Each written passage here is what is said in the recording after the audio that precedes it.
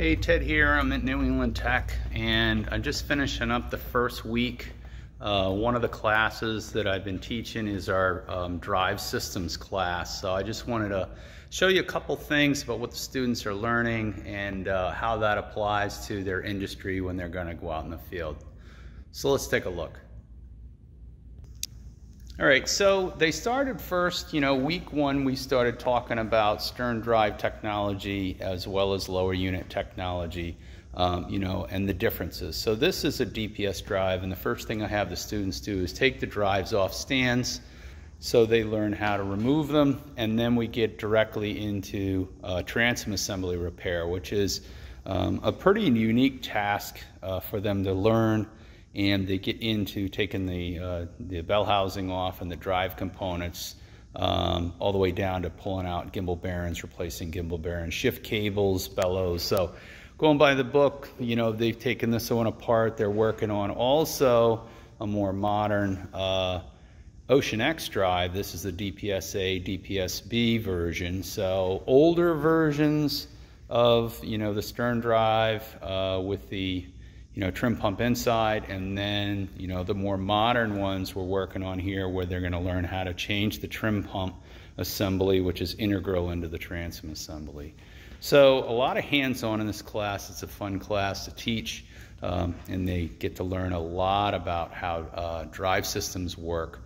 Uh, and of course, we got to go back in time and show them how alphas work and take alpha stern drives and transom assemblies apart, mostly for bellows and shift cables. So let's take a look at the drive lab as well, see what's coming up next. Okay, as we come in the drive lab, you'll notice right away here that um, I've organized the shims for the drives on a board here so we can uh, cover, you know, shimming procedures in detail for different drives.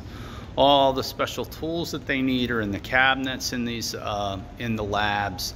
Um, this is a DPS that they'll be turned down later. Uh, going over the alphas, I was going over shift cables, um, how to adjust cables, how to install them, the bellows, um, those components week one. And then of course, as we go along through the semester, we're gonna actually get into full teardown of drives. So we'll be doing the DPS drives um, up here on the top rack going over the differences between DPSA and the DPS.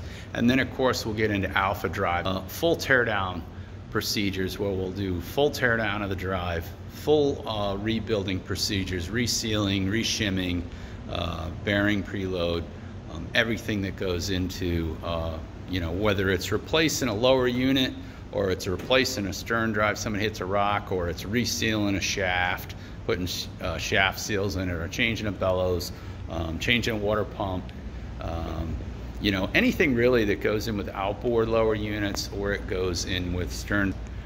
That's, you know, a lot of the areas that are really important is the drive system. We also get into inboards and we get into shaft, engine shaft alignment, the components, uh, rudder struts, etc.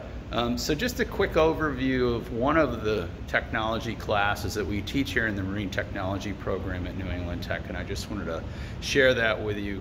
Um, so I can't stress the opportunities that are out there for our students. Um, there are lots and lots of excellent paying jobs out there for um, technicians that go through these programs.